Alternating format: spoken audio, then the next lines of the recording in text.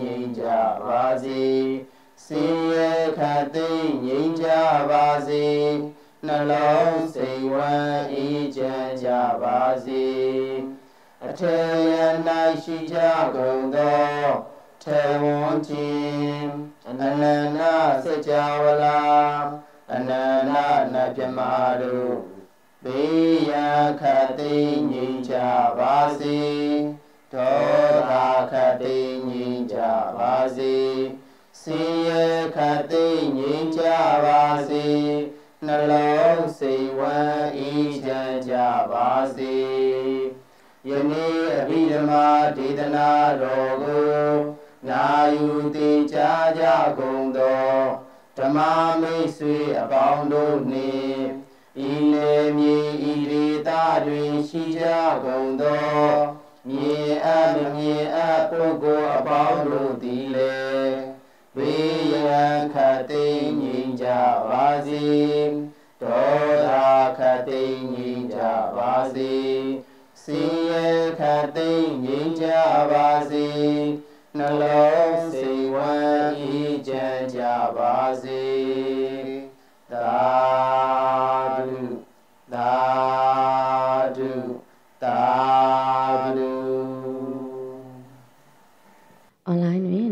နိုင်တင်ကြားကြကုန်သော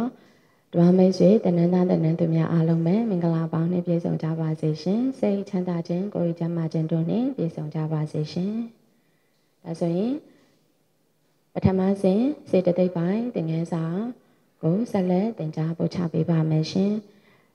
ပြီးခဲ့တဲ့အပတ်တွေတုန်းကစေတသိက်52ပါးနဲ့ပတ်သက်ပြီးတော့နိယတာအနိယတာယောဂီစေတသိက်တွေအကြောင်းပြောခဲ့တယ်။နောက်ပြီးသွားတဲ့အခါမှာစိတ်ရှင်စေတသိက်ရှင်ဒီမှာဒုတိယအနည်းဖြစ်တဲ့သင်္ကဟအနည်းကိုပြောရခဲ့တယ်နော်။ဒါဆိုရင်သင်ခန်းစာအသက်မသွားခင်လေးမှာစေတသိက်52ပါးနဲ့ပတ်သက်ပြီးတော့သင်ခန်းစာလေးကိုနည်းနည်းလောက်ပြန်ပြီးတော့မှတ်မိအောင်လို့အဲပြန်လှန်လေးသင်ခန်းလေးလုပ်ကြမယ်နော်။ဒါဆိုရင်အားလုံးပဲစေတသိက်52ပါးစေတသိက်ရဲ့သဘောအထိပ္ပယ်တွေကိုနည်းနည်းလောက်ပြန်ပြီးတော့ဆိုကြည့်ရအောင်နော်။ဒရမိတ်ဆွေများဆိုယူအနေနဲ့ပေါ့လေဒါဆိုရင်စိတ်မှမိတွေ့တဲ့စိတ်စေတသိက်ပေါင်းစုစုပေါင်းစေတသိက်52ပါးရှိတယ်ဒါဆိုရင်စေတသိက်ရဲ့သဘောအတိတ်ပဲဘာကိုပြောတယ်လဲဆိုရင်နှစ်ချက်နဲ့ရှင်းပြပေးထားတယ်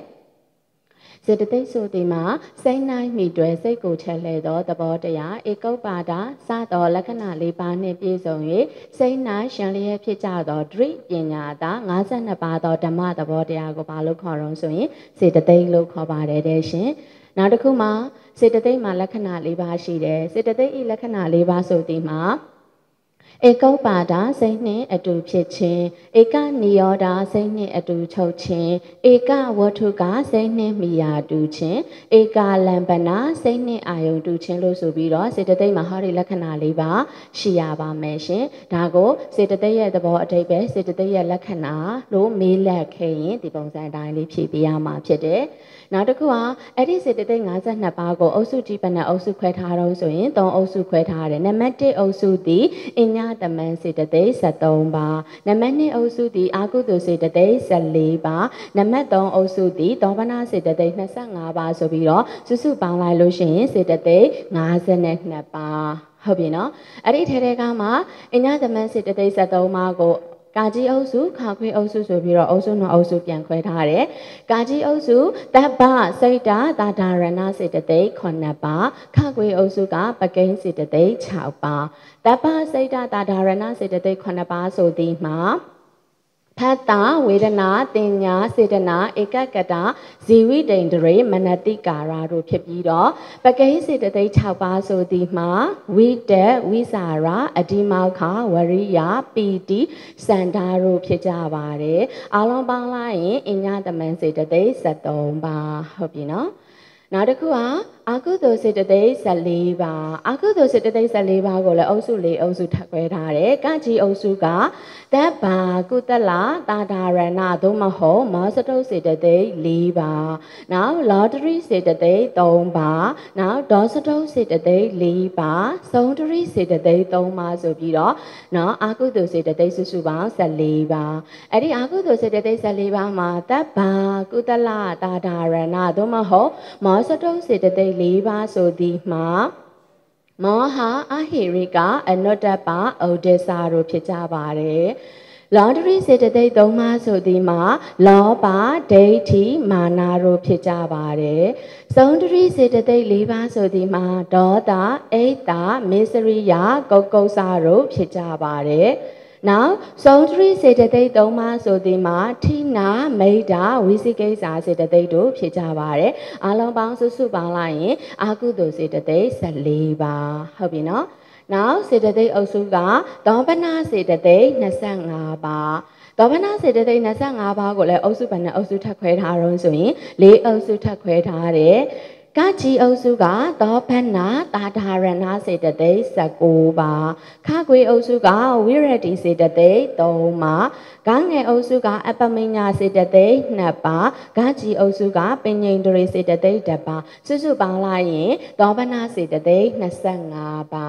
အဲ့ဒီသောဖဏစေတသိက်25ပါရဲ့ကကြီးအုပ်စုဖြစ်တဲ့သောဖဏတာဒါရဏစေတသိက်19ပါဆိုသည်မှာ တတ္တာတတိဟိရိအတ္တပအာလောဘအာဒေါသတတ္တရမေဇတတ္တာကာယပတ္တတိစိတ်တာပတ္တတိကာယလဟုတာစိတ်တာလဟုတာကာယမုဒုတာစိတ်တာမုဒုတာကာယကံမညတာစိတ်တကံမညတာကာယပါကုံညတာစိတ်တပါကုံညတာကာယုဇုကတာစိတ်တုဇုကတာဆိုပြီးတော့စုစုပေါင်းသောပနာတာဒါရဏစေတသိက်က19ပါ နောက်ဝိရတိစေတသိက်သုံးပါးဆိုသည်မှာတမ္မာဝါစာတမ္မာကမ္မန္တာတမ္မာအာဇီဝဆိုပြီးတော့ဝိရတိစေတသိက်က3ပါးအပမညာစေတသိက်2ပါးဆိုသည်မှာကရုဏာမုဒိတာဆိုပြီးတော့အပမညာစေတသိက်2ပါးပဉ္ိန္ဒရေစေတသိက်1ပါးဆိုသည်မှာပဉ္ိန္ဒရေစေတသိက်ပညာစေတသိက်1ပါးဆိုပြီးတော့စုစုပေါင်းလိုက်ရင်သောဘနာစေတသိက်25ပါးဒါဆိုရင်စေတသိက်52ပါးဆိုသည်မှာအညာသမန်စေတသိက်73ပါအာကုသိုလ်စေတသိက်14ပါဒေါပနာစေတသိက်25ပါစုစုပေါင်းစေတသိက်စုစုပေါင်း52ပါဒါသည်ဓမ္မမိတ်ဆွေများအားလုံးရှေ့ပိုင်းမှာတည်းကအားလုံးသိထားပြီးသားအောင်နည်းနည်းစာလေးကိုဟိုပြန်ပြီးတော့မှတ်မိအောင်နေ့စဉ်နေ့တိုင်းဒီပထမဆင်းစပြီးစေတသိက်ပိုင်းစပြီးဆိုတာနဲ့ဒီစေတသိက်ရဲ့ဒီ chat လေးကိုဘာလုပ်ပေးရမလို့ဆိုရင်ဓမ္မမိတ်ဆွေများအားလုံးအဆိုရိုးအနေနဲ့ရနေအောင်လို့အတူတူပူဇော်ထားရမယ်နော် ဒါဆိုရင်အခုအဲ့ဒီစေတသိက်52ပါးမှာဟုတ်ပြီနော်စေတသိက်လို့ပြောလိုက်တာ ਨੇ စိတ်ကိုမှီရတယ်စိတ်ကိုချဲလှယ်ရတယ်စိတ်မှာရှင်ပြီးတော့ဖြစ်ကြရတယ်အဲ့ဒီလိုမျိုးစိတ်ကိုမှီတွယ်စိတ်ကိုစိတ်မှာရှင်ပြီးတော့ဖြစ်ကြရတယ်ဟောဒီစေတသိက်52ပါးထဲမှာမှာအချို့အချို့သောစိတ်တို့သည်မိမိတို့ရှင်ရမယ့်စိတ်တွေမှာအမြဲတမ်းရှင်ရတယ်အချို့အချို့သောစေတသိက်တို့ကတော့မိမိရှင်ရမယ့်စိတ်တို့မှာအမြဲမရှင်နိုင်မဲနဲ့ရန်ခံမှရှင်ရတယ်လို့သင်ထားခဲ့ပြီးသားဒါဆိုရင်မိမိရှင်ရမယ့်စိတ်တွေမှာအမြဲတမ်းရှင်တဲ့စေတသိက်ကိုဘာစေတသိက်လို့ခေါ်တော့ဆိုတော့နိယတာယောဂီစေတသိက်မိမိရှင်ရမယ့်စိတ်တွေမှာအမြဲမရှင်နိုင်မင်းနဲ့ရတခါတရံမှသာရှင်နိုင်တဲ့စေတသိက်တွေကိုတော့ဘာလို့ခေါ်တော့ဆိုတော့အာနိယတာယောဂီစေတသိက်ဆိုပြီးတော့ခေါ်တယ်အဲဆိုရင်အဲ့ဒီအာနိယတာယောဂီစေတသိက်စုစုပေါင်းဘယ်နှပါးရှိတယ်လို့ရမိတ်ဆွေများသင်ခဲ့ရအောင်ရှင် ဆိုတော့အာနိယတယောဂီစေတသိက်စုစုပေါင်း7ပါးရှိရလို့သင်ခဲ့တယ်เนาะဒါဆိုရင်အဲ့ဒီ7ပါးကိုဒရမိတ်ဆွေများကြည့်ပါမယ်ဗမာတော့ဆိုရင်ဒီမှာကြည့်လိုက်မယ်ဆိုရင်ဒီ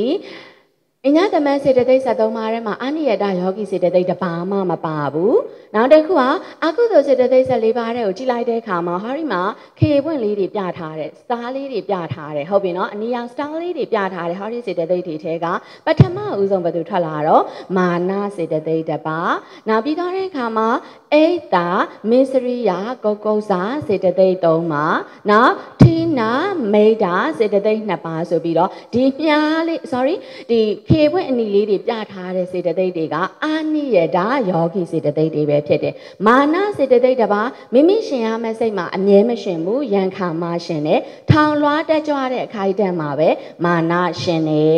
။နောက်အဲ့ဒါဘယ်ဘယ်မိမိရှင်ရမယ့်စိတ်မှာအမြဲမရှင်ဘူးဟုတ်ပြီနော်သူတစ်ပါးရဲ့ယာရုကုံသိစည်းစိမ်ပညာကိုမနာလိုတဲ့အခိုက်အတန့်မှာဒါဘယ်သူရှင်တော့ဆိုရင်အိတ်တာရှင်ပဲနော် misery ရဘယ်အချိန်မှရှင်တုံးဆိုတဲ့အခါကြလို့ရှိရင်မိမိရဲ့စီးစိမ်ပညာဥစ္စာကိုဝန်တိုတဲ့အခိုက်အတန့်မှာဒါလေး misery ရရှင်မယ်။နောက်ကိုကိုစာ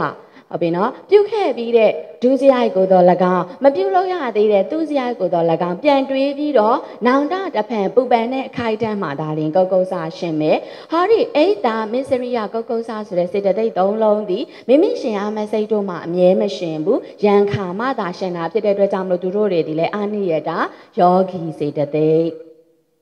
နောက်တစ်ခုကထိနာမိတ်တာထိနာမိတ်တာစေတသိက်ဒီမိမိရှင်ရမယ့်စိတ်တွေမှာအမြဲမရှင်ဘူးဘယ်အချိန်ကျမှရှင်တော့ဆိုရင်စိတ်စေတသိက်တို့ကြီးလေးလံထိုင်းမိုင်းတဲ့အခိုက်အတန့်မှာဒါရင်ဘယ်သူရှင်တော့ဆိုရင်ထိနာမိတ်တာရှင်ပါတယ်ဆိုပြီးတော့ဟောဒီအာကုသိုလ်စေတသိက်14ပါးထဲမှာအနိယတာယောဂီစေတသိက်ဘယ်နှပါးတွေ့ရတော့ဆိုတဲ့အခါကြလို့ရှိရင်6ပါးတွေ့ရပြီเนาะရာမိတ်ဆွေများဘယ်သူတွေတုံးဆိုရင်ပြန်ပူဇော်ကြည့်ရအောင် မာနာအိတ်တာမစ္စရိယကုတ်ကုတ်စာထိနာမိတာဟောဒီခေပွင့်အနီလေးတွေပြထားတာတွေအားလုံးဒီအာနိယတာယောဂီစေတသိက်တွေဖြစ်ပါတယ်ရှင်ဒါဆိုရင်နောက်တစ်အုပ်စုကဒေါဘနာစေတသိက်25ပါးထဲမှာခေပွင့်ပြထားတဲ့အုပ်စုလေးတွေကဘယ်သူတွေပါလာတော့တမဝါစာတမကမ္မန္တာတမအာဇီဝလို့ဆိုတဲ့ဝိရတိစေတသိက်၃ပါးဟုတ်ပြီနော်ဒီဝိရတိစေတသိက်၃ပါးဒီလည်းပဲ မိမိရှင်ရမယ့်စိတ်တို့မှာအမြဲမရှင်ရန်ခါမှသာလင်ဘာဖြစ်နိုင်တော့ဆိုရင်ရှင်နိုင်တယ်ဘယ်ချိန်မှရှင်တော့ တမဝါစာအသက်မွေးဝမ်းကြောင်းနဲ့မဆက်ဆိုင်တော့မဆက်ဆိုင်တော့เนาะဝစီဒုစရိုက်၄ပါးကနေရှောင်ကျင်တဲ့ခိုက်တဲ့မှာတမဝါစာရှင်တယ်တမကမ္မန္တာအသက်မွေးဝမ်းကြောင်းနဲ့မဆက်ဆိုင်တော့ကာယဒုစရိုက်၃ပါးကနေရှောင်ကျင်တဲ့ခိုက်တဲ့မှာတမကမ္မန္တာရှင်ပြီးတော့တမအာဇီဝကြတော့အသက်မွေးဝမ်းကြောင်းနဲ့ဆက်ဆိုင်တော့ဝစီဒုစရိုက်ကာယဒုစရိုက်တွေကနေရှောင်ကျင်တဲ့ခိုက်တဲ့မှာတမအာဇီဝရှင်ပါတယ်တဲ့ရှင်ဒါဆိုရင်မိမိရှင်ရမယ့်စိတ်တွေမှာအမြဲမရှင် တခါတည်းသူတို့ရဲ့နာမည်လေးတွေပါမှရန်ခါမှသာရှင်နိုင်တဲ့စိတ်တသိက်တွေဖြစ်တာဖြစ်တဲ့အတွက်ကြောင့်ဟောဒီတမဝါစာတမကမ္မန္တတမအာဇီဝလို့ဆိုတဲ့ reality စိတ်တသိက်သုံးပါးဒီလဲအာနိယတာယောဂီဆိုတဲ့အမည်ကိုရတယ်နောက်တစ်ခုကကရုဏာမုဒိတာကရုဏာမုဒိတာကရုဏာဘယ်ခိုက်တန့်မှာရှင်တုံးဆိုတဲ့အခါကျရင်ဒုက္ခိတတတ္တဝါပြည့်ညတ်ကိုအာယုံပြုပြီးတော့တဏှာချင်းအခိုက်တန့်မှာဘယ်သူရှင်တုံးဆိုရင်ကရုဏာရှင်တယ်နာမုဒိတာ ဒုက္ခိတတတ္တဝါပြည့်ညတ်ကိုအာယုံပြုပြီးတော့ဝမ်းမြောက်တဲ့အခိုက်အတန့်မှာဘယ်သူရှင်တော့ဆိုရင်မုဒိတာရှင်တယ်ဒီလိုပဲကရုဏာမုဒိတာဆိုတဲ့ဟောဒီစေတသိက်နှစ်ပါးဒီလဲပဲမိမိရှင်ရမယ့်စိတ်တွေမှာအမြဲမဲ့ရှင်ရန်ခါမှသာရှင်နိုင်တာဖြစ်တဲ့အတွက်ကြောင့်မလို့ဟောဒီအပမညာစေတသိက်နှစ်ပါးကရုဏာမုဒိတာဒီလဲပဲအာနိယတာယောဂီဆိုတဲ့နာမည်ကိုရတော့ဟောဒီသောပနာစေတသိက်25ပါးထဲမှာအာ နိယတာဆိုတဲ့နာမည်ကိုရတဲ့စေတသိက်ဘယ်နှလုံးတွေ့ပါလဲရှင်၅လုံးဘယ်သူတွေတုံးဆိုတဲ့အခါကျရင် တမဝါစာတမကမ္မန္တာတမအာဇီဝကရုဏာမုဒိတာဆိုပြီးတော့စုစုပေါင်းအာနိယတာယောဂီစေတသိက်ဒီထောက်ဒီမှာ၅ပါးတွေ့တယ်ဆိုတော့ပြန်ပေါင်းလိုက်ရင်အာနိယတာယောဂီစေတသိက်စုစုပေါင်းဘယ်နှပါးဖြစ်သွားတော့ဆိုရင်အာကုသိုလ်စေတသိက်အုပ်စုထဲမှာ6ပါးရဲ့ဒေါဘနာစေတသိက်အုပ်စုထဲမှာ5ပါးရဲ့ဆိုရင်စုစုပေါင်းအာနိယတာယောဂီစေတသိက်17ပါးအဲဆိုရင်အာနိယတာယောဂီစေတသိက်17ပါးဆိုသည်မှာ မာနာအိတာမစ္စရိယကောကုစာထိနာမိဒ တမ္မာဝါစာတမ္မာကမ္မန္တာတမ္မာအာဇီဝကရုဏာမုဒိတာဆိုပြီးတော့ဟာရိစေတသိက်စုစုပေါင်း17ပါးသည်အာနိယတာယောဂီစေတသိက်17ပါးမေးတတ်ပါတယ်เนาะဓမ္မမိတ်ဆွေများဟုတ်ပြီเนาะမိမိရှင်ရမယ့်စိတ်တွေမှာအမြဲမရှင်ရန်ခါမှသာရှင်နိုင်တဲ့စေတသိက်တွေကိုဘာလို့ခေါ်တယ်လဲအဲ့ဒီစေတသိက်တွေကိုတရုပ်ထုတ်ပြခဲ့ပါဆိုရင်ဓမ္မမိတ်ဆွေများကမိမိရှင်ရမယ့်စိတ်တွေမှာအမြဲမရှင်ဘူးရန်ခါမှသာရှင်နိုင်တဲ့စေတသိက်တွေကိုဘာ စေတသိက်လို့ခေါ်တော့ဆိုရင်အာနိယတာယောဂီစေတသိက်လို့ခေါ်တယ်အဲ့ဒီအာနိယတာယောဂီစေတသိက်စုစုပေါင်း17ပါးရှိပါသည်၎င်းတို့မှာဆိုပြီးတော့ဟောဒီစေတသိက်17ပါးကိုတပါးတစ်ပါးချင်းစီပါလို့ပြရမှာလို့ဆိုရင်ရေးချပြပေးရ မှာနော်ဒရာမိတ်ဆွေများဒါဆိုလို့ရှိရင်ဒီဒီဒီဒါနိယတာအာနိယတာနဲ့ပတ်သက်ပြီးတော့ဒရာမိတ်ဆွေများကအမြဲတမ်းသင်ငန်းစာစာတိုင်းစာတိုင်းမှာစေတသိက်52ပါးစေတသိက်ရဲ့သဘောအဓိပ္ပာယ်စေတသိက်ရဲ့လက္ခဏာစေတသိက်ရဲ့အုပ်စုကြီး၃အုပ်စုတအုပ်စုချင်းစီမှာပါဝင်တဲ့စေတသိက်တစ်လုံးချင်းစီကိုမလုပ်နေရမှာလို့ဆိုရင်အလွတ်ရနေရမယ်အပြင်ဟောဒီစေတသိက်52ပါးထဲကမှဒီအနီရောင်လေးတွေပြထားတဲ့ခေဝင်းအနီရောင်လေးတွေပြထားတဲ့စေတသိက်တွေကတော့အာနိယတာနာမည်ရတယ်ဆိုတာကိုသိနေရမယ်အဲ့ဒီအာနိယတာယောဂီစေတသိက်17ပါးရှိတယ်ဘာတွေပါလဲဆိုတာလည်းဆက်လက်ပြီးတော့သိထားရမှာဖြစ်ပါတယ်เนาะဒရာမင်းရှင်များဒါဆိုရင်ဒရာမင်းရှင်များအားလုံးပဲပြီးခဲ့တဲ့တင်ခန်းစာလေးတွေကိုဒါပြန်ပြီးတော့နှွေးပေးသွားတာဖြစ်တယ်เนาะဒါဆိုရင်ဒီနေ့တင်ခန်းစာအစ်စ်လေးသွားကြရအောင်เนาะအဲဆိုရင်ပြီးခဲ့တဲ့တင်ခန်းစာမှာတော့က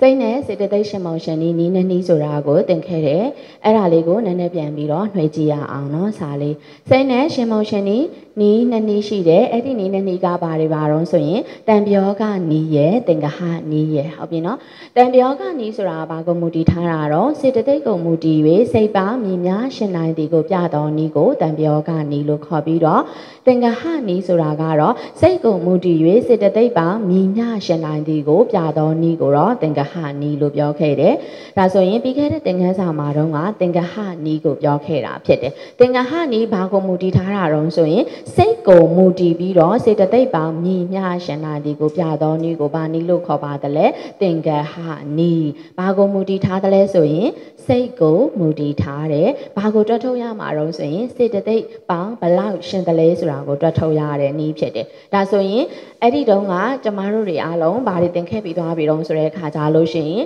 သင်္ကဟနီးမှာသင်္ကဟနီးမှာရာမိတ်ဆွေများမတိမဖြစ်တိကိုသိရမယ်အလွတ်ကျမှတ်ထားရမယ်အဲ ဟိုဟာလေးရှိတယ်နော်မြားလေးတွေရှိတယ်အဲ့ဒါကဘာရောဆိုတဲ့ခါကျရင်ဟောဒီဘက်မှာစိတ်ဒီအကျဉ်းအားဖြင့်80ကိုအကျဲ122ပါးရှိတယ်ဟိုဘက်မှာကတော့စေတသိက်က52ပါးရှိတယ်အဲ့ဒီစိတ်စေတသိက်ရှင်မုံရှင်ကြီးကိုလေ့လာတဲ့အခါမှာဒီဘက်စိတ်အကျဉ်း80ကို122ပါးထဲမှာအာကုသိုလ်စိတ်12ပါးအုပ်စုတွေခွဲခြားလိုက်တဲ့အခါမှာအာကုသိုလ်စိတ်12ပါးရဲ့နောက်အာဟိစိတ်18ပါးကာမတောပနာစိတ်24ပါးမဟာကုတ်စိတ်28ပါးလောကုတ္တရာစိတ်အကျဉ်း10အကျယ်40ပါဆိုပြီးတော့စိတ်ကိုအုပ်စုကြီးငါအုပ်စုခွဲလိုက်တယ်ပြီးတဲ့အခါမှာဟိုဘက်မှာစေတသိက်52ပါအုပ်စုမှာအညာတမန်စေတသိက်က73ပါအကုသိုလ်စေတသိက်က14ပါဒေါဘနာစေတသိက်25ပါဆိုတော့စေတသိက်အုပ်စုကိုလည်းဘယ်နှအုပ်စုထပ်ခွဲထားလိုက်တော့ဆိုရင်3အုပ်စုခွဲထားလိုက်တယ်ပြီးတော့တဲ့အခါမှာစိတ်ကိုမူတည်ထားတာဖြစ်တဲ့အတွက်ကြောင့်မလို့အကုသိုလ်စိတ်လို့တွေးလိုက်ပြီဆိုတာနဲ့ဟိုဘက်မှာစေတသိက်အုပ်စုကဘယ်သူတွေနဲ့သွားပြီးတော့ ရှင်ကြည့်ရမလို့ဆိုရင်အညသမန်းစေတသိက်မြားလေးပြထားတာရာမိတ်ဆွေများကြည့်ကြည့်လိုက်နော်အာကုသိုလ်စိတ်ဆန္ဒပါလို့တွေးလိုက်ပြီဆိုတာနဲ့အာကုသိုလ်စိတ်တို့တွေးလိုက်ပြီဆိုတာနဲ့သူသွားရှင်ရမယ့်စေတသိက်အုပ်စုကဘယ်သူတွေလဲရှင်အညာတမန်စေတသိက်73ပါးရဲ့အာကုသိုလ်စေတသိက်14ပါးရဲ့စုစုပေါင်းစေတသိက်25ပါးမှာသွားပြီးတော့ကြည်ပေးရမှာဖြစ်တယ်နောက်နံပါတ်1အုပ်စုဖြစ်တဲ့အာဟိစိတ်78ပါးလို့တွေးလိုက်ပြီဆိုတာနဲ့အာဟိစိတ်လို့တွေးလိုက်ပြီဆိုတာနဲ့ ဗာမိတ်ဆွေများသွားပြီးတော့ရှင်ပေးရမယ့်စေတသိက်အုပ်စုသွားရှာကြည့်ရမယ့်စေတသိက်အုပ်စုဒီဘယ်သူတော့ဆိုရင်အညသမန်းစေတသိက်73ပါးထဲမှာပဲသွားပြီးတော့ကြည့်ပေးရမှာဖြစ်တယ်။အာဟိစိတ်လို့ပြောလိုက်တာနဲ့သူရှင်ရမယ့်စေတသိက်အုပ်စုဒီဘယ်သူပဲရှိတော့ဆိုရင်အညသမန်းစေတသိက်73ပါးအာကုသိုလ်စိတ်လို့တွေးလိုက်ပြီဆိုတာနဲ့အာကုသိုလ်စိတ်လို့တွေးလိုက်ပြီဆိုတာနဲ့သူရှင်ရမယ့်စေတသိက်အုပ်စုဒီအညသမန်းစေတသိက်73ပါးရဲ့အာကုသိုလ်စေတသိက်14ပါးရဲ့ဆိုပြီးတော့စုစုပေါင်းစေတသိက်28ပါဟုတ်ပြီနော်နောက်တစ်ခုကနောက်နံပါတ်3အုပ်စုဖြစ်တဲ့ကာမသောပနာစိတ်24ပါးရဲ့မဟကုတ်စိတ်28ပါးရဲ့လောကုတ္တရာစိတ်အကျဉ်းရှိအကျယ်40ပါးရဲ့စုစုပေါင်းလိုက်လို့ရှိရင်အဲ့ဒီစိတ်တွေကိုသောပနာစိတ်အကျဉ်း59အကျယ်60နဲ့တပါးဆိုပြီးတော့ရမေရှင်များအားလုံးသိထားခဲ့ပြီးသားဟောဒီသောပနာစိတ်59 60တပါး တွေးလိုက်ပြီဆိုတာနဲ့သောပနာစိတ်တွေလို့တွေးလိုက်ပြီဆိုတာနဲ့သူရှင်ရမယ့်စေတသိက်အုပ်စုကဘယ်စေတသိက်တွေတုံးဆိုရင်ဟောဒီမှာအင်္ဂတမန်စေတသိက်73ပါးအုပ်စုရဲ့သောပနာစေတသိက်25ပါးအုပ်စုရဲ့ပေါင်းလိုက်တော့စေတသိက်စုစုပေါင်းဘယ်နှပါးတုံးဆိုရင်38ပါးထဲနဲ့သွားပြီးတော့ရှင်မှာဖြစ်တယ်ဆိုတဲ့အခါကျတော့ဒရမင်းဆွေများစိတ် သင်္ကဟနီးသည်စိတ်ကိုမူတည်တယ်စေတသိက်ဘလောက်ရှင်မလဲဆိုတာကိုတွက်ထုတ်ရတဲ့အပိုင်းဖြစ်တယ်။ဒါဆိုရင်စိတ်တစ်ခုကိုတွေးလိုက်တယ်ပထမအဦးဆုံးစိတ်အုပ်စုသည်အာကုသိုလ်စိတ်လို့တွေးလိုက်ပြီဆိုတာနဲ့သူရှင်ရမယ့်စေတသိက်အုပ်စုဒီဘယ်နဲ့အုပ်စုရှိတော့ဆိုရင်နှစ်အုပ်စုဘယ်သူနဲ့ဘယ်သူတော့ဆိုရင်အညတမန်စေတသိက်73ပါးရဲ့အာကုသိုလ်စေတသိက်14ပါးရဲ့စုစုပေါင်းလိုက်တော့စေတသိက်28ပါးနဲ့သွားပြီးတော့ရှင်ခွင့်ရှိတယ်ရှင်နိုင်ကြရတယ်အဲ့ဒီထဲထဲကနေပြန်ပြီးတော့မလုပ်ရတော့မှာတော့ဆိုရင်ရွေးချယ်ထုတ်ပေးရလိုက်တော့မယ်။နောက်အာဟိစိတ်ဆက်ရှိပါအာဟိစိတ်လို့တွေးလိုက်ပြီဆိုတာနဲ့ဟိုဘက်မှာသူသွားရှင်ရမယ်စေတသိက်အုပ်စုဒီဘယ်သူတုံးဆိုတဲ့ခါကျရင်အညတမန်စေတသိက်73ပါဟုတ်ပြီနော်နောက်အုပ်စုကကာမသောပနာစိတ်24ပါး မဟကုတ်စိတ်28ပါးလောကုတ္တရာစိတ်လို့တွေးလိုက်ပြီဆိုတာနဲ့သောပနာစိတ်တွေတွေးလိုက်ပြီဆိုတာနဲ့သောပနာစိတ်လို့ပြောတာနဲ့သူရှင်ရမယ့်စေတသိက်အုပ်စုဒီဟိုဘက်မှာအညတမန်စေတသိက်73ပါးရဲ့သောပနာစေတသိက်25ပါးရဲ့စုစုပေါင်းလိုက်တော့စေတသိက်ဘယ်နှလုံးလုံးဆိုတော့38လုံး38ပါးထဲကနေသွားပြီးတော့ရှာပေးရမှာဖြစ်တယ်38ပါးနဲ့ရှင်ခွင့်ရှိရဲဆိုတော့အဲ့တော့ရမိတ်ဆွေများသင်္ကဟနီးမှာဒီဇရာလေးဒီဘာလို့နေရမှာလဲဆိုရင် လုံးဝရောင်းမေရှင်များအလွတ်ရကိုရနေရလိမ့်မယ်အကုသိုလ်စိတ်လို့တွေးလိုက်ပြီဆိုတာနဲ့အညာဓမ္မစေတသိက်73ပါးနဲ့အကုသိုလ်စေတသိက်14ပါးအဟိစိတ်ကိုတွေးလိုက်ပြီဆိုတာနဲ့အညာဓမ္မစေတသိက်73ပါးဟုတ်ပြီနော်ဒေါဘနာစိတ်တွေကိုတွေးလိုက်ပြီဆိုတာနဲ့အညာဓမ္မစေတသိက်73ပါးရဲ့ဒေါဘနာစေတသိက်25ပါးရဲ့ဒီအုပ်စုတွေတွေကနေပဲသွားပြီးတော့ရှားကြည့်ရမှာဖြစ်တယ်နော်ဒါဆိုရင်သင်္ကဟနေဟိုဒေါမေရှင်များ ကြံခဲ့တဲ့အဘက်ကပြီးသွားခဲ့ပြီးပြီဆိုတဲ့အခါကျတော့ပြီးခဲ့တဲ့သင်ခန်းစာမှာသင်္ကဟနီမှာဗာပြီးသွားခဲ့ပြီးပြီတုံးဆိုတဲ့အခါကျလို့ရှိရင်ဒရာမိတ်ဆွေများနဲ့ဓမ္မနဲ့က အာကုသိုလ်သင်္ကဟနီကိုပြီးသွားခဲ့ပြီးပြီเนาะရာမိတ်ဆွေများအာကုသိုလ်စိတ်ဆန္ဒပါနဲ့စေတသိက်ရှင်ပုံရှင်နီးဆိုတဲ့သင်္ကဟနီကိုပြီးခဲ့တယ်အဲ့ဒီသင်္ကဟနီမှာအာကုသိုလ်စိတ်လို့ပြောလိုက်ပြီဆိုတာနဲ့ရာမိတ်ဆွေများတွက်ထုတ်ရမှာဒီဘယ်စိတ်တွေတုံးဘယ်စိတ်တသိက်တွေနဲ့သွားရှင်ရမှာတုံးဆိုတဲ့အခါကျရင်အညာတမန်စေတသိက်73ပါးရဲ့အာကုသိုလ်စေတသိက်14ပါးရဲ့စုစုပေါင်းစေတသိက်ဘယ်နှပါတုံးဆိုရင်20နဲ့9ပါးရနေသွားကြည့်ရမယ်ဒါဆိုရင်အဲ့ဒီမှာရာမိတ်ဆွေများ အာဟုတုစိတ်တသိက်ထဲမှာမှာလောဘမှုစိတ်က10ပါးရှိတယ်ဟုတ်ပြီနော်ဒေါသမှုစိတ်က2ပါးမောဟမှုစိတ်က2ပါးစုစုပေါင်းလိုက်တော့အာဟုတုစိတ်12ပါးလောဘမှုစိတ်10ပါးရဲ့ဆိုလေးဆိုဒီမှာသောမနတတဟကုဒိဋ္ဌိကတာဒိဋ္ဌိကတာတံပယုအသင်္ခါရိကလောဘမှုစိတ်တစ်ပါးတသင်္ခါရိကလောဘမှုစိတ်တစ်ပါးပြီးရင်သောမနတတဟကုဒိဋ္ဌိကတာဝိပယုအသင်္ခါရိကလောဘမှုစိတ်တပါတသင်္ခါရိကလောဘမှုစိတ်တပါ ပြီးတဲ့အခါမှာဥပိ္ပခာတဟကိုဒိဋ္ဌိကတာတံပယောအသင်္ခါရိကလောဘမှုစိတ်တပါတသင်္ခါရိကလောဘမှုစိတ်တပါပြီးရင်ဥပိ္ပခာတဟကိုဒိဋ္ဌိကတဝိပယောအသင်္ခါရိကလောဘမှုစိတ်တပါတသင်္ခါရိကလောဘမှုစိတ်တပါဆိုပြီးတော့စုစုပေါင်းလိုက်ရင်လောဘမှုစိတ်၈ပါးအဲ့ဒီလောဘမှုစိတ်၈ပါးလို့ပြောလိုက်ပြီးအာကုသိုလ်စိတ်လို့တွေးလိုက်ပြီးဆိုတာနဲ့သူရှင်ရမယ့်စေတသိက်အုပ်စုဒီနှစ်အုပ်စုအဲ့ဒါကအညတမန်စေတသိက်73ပါးရဲ့အာကုသိုလ်စေတသိက်14ပါးရဲ့စုစုပေါင်းဟောရိစေတသိက်28ပါးနဲ့ရှင်ခွင့်ရှိတယ်ရှင်နိုင်ကြတယ်ဆိုတဲ့အခါကျတော့အာကုသိုလ်စိတ်ဒီလောဘမှုစိတ်၈ပါးရဲ့တပါးတစ်ပါးချင်းစီရဲ့သူရှင်ရမယ့်စေတသိက်တွေကိုတွက်ထုတ်လိုက်တဲ့အခါမှာပထမဦးဆုံးဖြစ်တဲ့သောမနတတဟဂုဒိဋ္ဌိကတာတံပယောအသင်္ခါရိကသောမနတတဟဂုဒိဋ္ဌိကတာတံပယောသသင်္ခါရိကလို့ဆိုရဲဟောဒီလောဘမှုစိတ်နှစ်ပါးကိုအရင်ကြည့်မယ်ဆိုရင်အညတမန်စေတသိက်အုပ်စုထဲကတပ္ပစိတ်တာဒါရဏစေတသိက်ခုနှစ်ပါးသည်လုံးစုံသောစိတ်တိုင်းမှာရှင်းနိုင်တာဖြစ်တဲ့အတွက်ကြောင့်မလို့ခုနှစ်ပါးစလုံးယူမယ် ပြီးတဲ့အခါကျရင်ပကိန်းစေတသိက်6ပါးစလုံးရှင်းနိုင်ကြတယ်ဒါတပါးတပါးချင်းစီဒီပြီးခဲ့တဲ့သင်ခန်းစာမှာဘယ်လိုယူရတယ်ဆိုတာကိုတည်တည်ချာချာတွက်ထုတ်ထားပြီးသားအခုစာနည်းနည်းပြန်နှွေးနေတာเนาะဒရာမိတ်ဆွေများဒါဆိုရင်ပကိန်းစေတသိက်6ပါးစလုံးနဲ့လည်းအပြေအဝရှင်းကြရတယ်ဒါဆိုရင်တမန်စေတသိက်73ပါးအလုံးကုန်သွားပြီပြီးသွားတဲ့အခါမှာအာကုသိုလ်စေတသိက်14ပါး အာကုသိုလ်စေတသိက်14ပါးမှာမောစတုစေတသိက်4ပါးသည်အလုံးစုံသောအာကုသိုလ်စိတ်တိုင်းမှာအာကုသိုလ်စိတ်တိုင်းမှာရှင်နိုင်တာဖြစ်တဲ့အတွက်ကြောင့်မောစတုစေတသိက်4ပါးစလုံးသည်လည်းရှင်ခွင့်ရှိတယ် နောက်တစ်ခုက laundry စေတသိက်သုံးပါးထဲမှာလောဘရယ်ဒိဋ္ဌိရယ်မာနရယ်ဆိုပြီးတော့ဟောဒီသုံးခုရှိတဲ့အနက်ကလောဘစေတသိက်ကတော့လောဘမှုစိတ်တိုင်းမှာရှင်တာဖြစ်တဲ့အတွက်ကြောင့်မလို့လောဘတစ်ပါးတစ်ပါးစီယူမယ်။နောက်ဒိဋ္ဌိစေတသိက်ကကြတော့ဒိဋ္ဌိကတတန်ပယုတ်စိတ်ဖြစ်ရင်ရှင်မယ်ဆိုတော့အခုဓမ္မမင်းရှင်များနံပါတ်1နဲ့နံပါတ်2စေတစိတ်ဒီလည်းပဲဒိဋ္ဌိကတတန်ပယုတ်စိတ်တွေဖြစ်တာဖြစ်တဲ့အတွက်ကြောင့်မလို့ဒိဋ္ဌိစေတသိက်တစ်ပါးချင်းစီလည်းပဲရှင်ကြမယ်။ နော်မာနစေတသိက်မာနစေတသိက်ကကြတော့ပမာရှင်တုံးဆိုရင်ဒိဋ္ဌိကတဝိပယုတ်စိတ်မှာရှင်တာဖြစ်တယ်အခုဒီမောင်မင်းဆွေများသိချင်တာဒီဒိဋ္ဌိကတတန်ပယုတ်စိတ်ဖြစ်တာဖြစ်တဲ့အတွက်ကြောင့်မလို့မာနဒီလုံးဝမရှင်ပါဘူးဟုတ်ပြီနော်မာနရှင်ခွင့်မရှိဘူးနောက်တစ်ခုက ဒေါစတုစေတသိက်၄ပါးဒေါစတုစေတသိက်၄ပါးဆိုတာဒီဘယ်စိတ်မှာပဲရှင်တာတော့ဆိုရင်ဒေါသမှုစိတ်မှာပဲရှင်တာဖြစ်တဲ့အတွက်ကြောင့်မှလို့ဒေါစတုစေတသိက်၄ပါးဒီဟောဒီလောဘမှုစိတ်မှာမရှင်ဘူးဒါကြောင့်မလို့ဒေါစတုစေတသိက်၄ပါးလည်းတွက်စရာမလိုဘူးဟုတ်ပြီနော်နောက်တစ်ခုကဇုံတရီစေတသိက်၃ပါးဇုံတရီစေတသိက်၃ပါးတဲ့ကထိနာမိတ်ဒထိနာမိတ်ဒသည်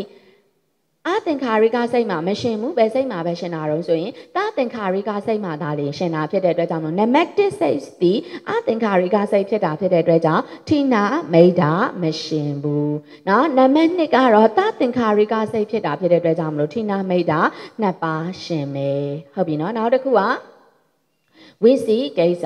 ဝီစီကိစ္စလို့ပြောလိုက်ပြီဆိုတာနဲ့ဝီစီကိစ္စစေတသိက်ကလေးဒီဘယ်စိတ်မှာပဲရှင်တယ်လို့သိခဲ့တော့ဆိုရင်ဝီစီကိစ္စတန်ပြုတ်စိတ်မှာဒါရင်ရှင်တာဖြစ်တယ်အခုဒရမင်းဆွေများဒီလောဘမှုစိတ်ဖြစ်တာဖြစ်တဲ့အတွက်ကြောင့်မလို့ဝီစီကိစ္စစိတ်နှစ်စေတသိက်နှစ်ပါစေတသိက်လည်းလုံးဝမရှင်ဘူးဆိုတော့အားလုံးမှာလောဘမှုစိတ်၈ပါးရဲ့နံပါတ်1နဲ့နံပါတ်2သောမနတတဟာကုတ်ဒိဋ္ဌိကတတန်ပယောအသင်္ခါရိကစိတ်မှာစုစုပေါင်းစေတသိက်19ပါဟုတ်ပြီနော်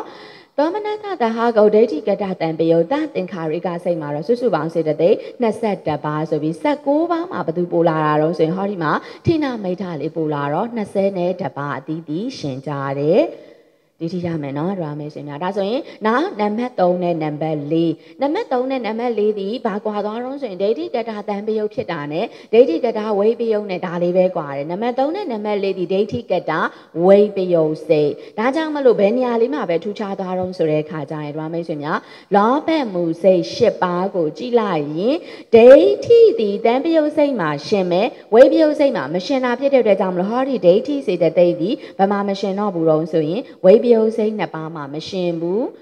မာနသည်ဒိဋ္ဌိကတဝိပယုတ်စိတ်ဖြစ်ရင်ဖြစ်ရှင်မှာဖြစ်တဲ့အတွက်ကြောင့်မလို့မာနသည်ဟောဒီဒိဋ္ဌိကတဝိပယုတ်စိတ်နှစ်ပါးမှာလာပြီးတော့ရှင်နေဆိုတော့စေတသိက်သည်ဟောဒီလော်ဒရီစေတသိက်သုံးပါးတွေကမာနနဲ့ ဒိဋ္ဌိနဲ့ဒီနှစ်ခုလေးမှာပဲဝိပယုတ်ဒိဋ္ဌိကတာဝိပယုတ်ဆိုရင်ဒိဋ္ဌိမရှင်ဘူးမာနရှင်မယ်ဒိဋ္ဌိကတာတန်ပယုတ်ဆိုရင်ဒိဋ္ဌိရှင်မယ်မာနမရှင်ဘူးဒီနှစ်နေရာပဲကွာသွားပြီးတော့စေတသိက်ရေအတွက်ဒီ19ပါ20နဲ့တပါဖြစ်တယ်เนาะဒါမယ်ဆိုရင်ဒါဆိုရင်နောက်တစ်ခုကကြတော့ ဥပိ္ခာတဟာကုတ်ဒါဆိုရင်ဥပိ္ခာတဟာကုတ်မှာလည်းပဲဝေဒနာကွာသွားတာရှိမယ်ဟုတ်ပြီနော်ဝေဒနာဒီပါဝေဒနာဖြစ်နေတော့ဆိုရင်ဥပိ္ခာဝေဒနာဖြစ်နေတယ်ဆိုတာလေးကိုဓမ္မမိတ်ဆွေများကတတိထားပေးရမယ်ဥပိ္ခာဝေဒနာဖြစ်တာဖြစ်တဲ့အတွက်ကြောင့်မလို့ပကိန်းစေတသိက်6ပါးထဲမှာဘသူကိုကျင်လာရတော့ဆိုရင်ပီတိကိုကျင်လာရတယ်။ဘာကြောင့်တုံးဆိုရင်ပီတိဒီတောမနတဖြစ်မှရှင်မယ်လို့ပြောထားတာဖြစ်တဲ့အတွက်ကြောင့်ဟောဒီလောဘမှု စိတ်တွေဒီ၄ပါးဒီဟောဒီလောဘမှုစိတ်၄ပါးဒီဥပိ္ပခဝေဒနာတွေနဲ့ရှင်ထားတာဖြစ်တဲ့အတွက်ကြောင့်မလို့ပကိန်းစေတသိက်6ပါးတဲ့ကဘသူကိုကျင်လိုက်ရတော့ဆိုရင်ပီတိကိုကျင်လိုက်တော့ပကိန်းစေတသိက်ဘယ်နှပါးပဲရှင်ကြတော့ဆိုရင်ပီတိကျင်ထားတော့ပကိန်းစေတသိက်5ပါးဟုတ်ပြီနော်ဒီနေရာလေးကြွားသွားမယ် တန်တာအားလုံးအတူတူပဲဆိုတော့ဟောဒီမှာဒိဋ္ဌိကတာတန်ပယုတ်စိတ်ဖြင့်ပီတိလျှော့ထားတာဆိုတော့ပီတိရောလိုက်တော့18ပါဟုတ်ပြီနော်ဒိဋ္ဌိကတာတန်ပယုတ်ဖြင့်ပီတိလျှော့ထားတာဆိုတော့22ပါးကနေပါဖြစ်လာတော့ဆိုရင်20ပါးဖြစ်လာတယ်နော်ဟောဒီမှာလဲ18 20ဒါလေးတွေကွာသွားတယ်ဒါသည်